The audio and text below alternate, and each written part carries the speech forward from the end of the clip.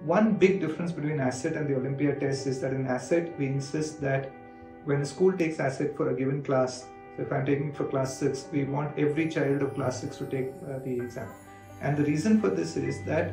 the purpose of ASSET is to give feedback so that the students and the teachers and the parents know exactly. So, in the case of the parents, they come to know exactly where a student stands, and the school and the teacher come to know where the, the, the school stands.